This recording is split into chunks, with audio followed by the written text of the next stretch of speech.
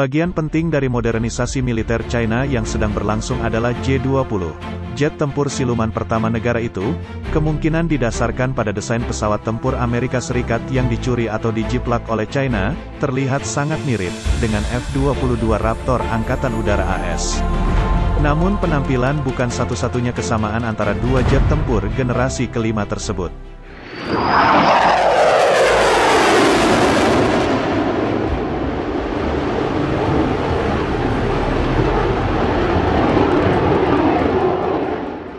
Pesawat ini adalah, pesawat tempur siluman generasi kelima operasional ketiga di dunia, satu-satunya dalam layanan resmi yang tidak dirancang oleh Amerika Serikat atau sekutunya.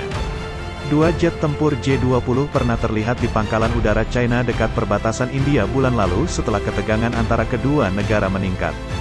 Penilaian konvensional menyatakan bahwa J-20 saat ini tidak dapat menghadapi F-22 Angkatan Udara AS dalam pertempuran udara langsung. Tapi J-20, dan program jet tempur siluman China secara keseluruhan, masih muda, dan mungkin sangat matang. F-22 Raptor, pertama kali diterbangkan pada tahun 1997 dan diadopsi pada tahun 2005, memiliki ruang senjata internal utama yang dapat membawa enam rudal udara ke udara jarak jauh, dan dua ruang lateral dengan satu rudal jarak pendek. Empat cantelan eksternal memungkinkannya membawa lebih banyak rudal, dan memiliki meriam putar 20 mm untuk pertempuran jarak dekat. Ada konsensus luas bahwa F-22 akan memenangkan dogfight dengan J-20. Kecepatannya yang lebih tinggi, batas atas operasional, teknologi siluman yang unggul, dan pilot yang lebih berpengalaman memberikan keunggulan dibandingkan J-20.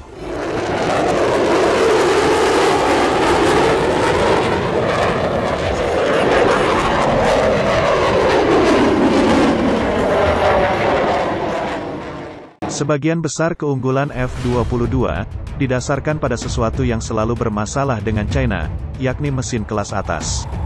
Upaya pertama China pada mesin untuk J-20 sangat buruk sehingga mereka harus menggunakan mesin Saturn Al-31 Rusia untuk model produksi pertama. Varian selanjutnya akan menggunakan WS-10 buatan dalam negeri, tetapi masih dianggap kurang bertenaga dan tidak dapat diandalkan.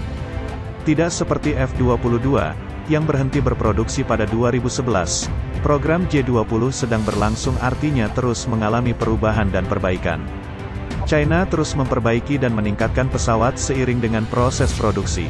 Mereka akan belajar pelajaran dan mereka dapat mengubah dan memodifikasi pesawat mereka, sedangkan di AS itu jelas jauh lebih sulit dilakukan dengan semua pabrik ditutup. Ini berarti bahwa J20 di masa depan kemungkinan akan menutup celah dengan F22. China sedang mengembangkan mesin baru, WS-15, yang akan jauh lebih bertenaga. Sementara itu, mereka telah memasang model terbaru mereka, J20B, dengan mesin buatan Rusia yang lebih baru yang mampu melakukan vektor dorong, yang juga akan dimiliki WS-15, keuntungan yang tidak akan dinikmati F-22 dibandingkan J-20. Kesenjangan pengembangan meluas ke persenjataan juga. China juga mengembangkan rudal baru yang memiliki jangkauan 300 km. Kesenjangan pembangunan sebagian besar disebabkan oleh fokus Amerika Serikat pada memerangi pemberontakan daripada aktor negara. J-20 tidak dirancang atau dimaksudkan untuk bertempur dalam artian tradisional, bahkan tidak memiliki meriam untuk pertempuran jarak dekat. Sebaliknya, itu dimaksudkan untuk menyerang pesawat musuh dari jarak yang sangat jauh dengan rudal.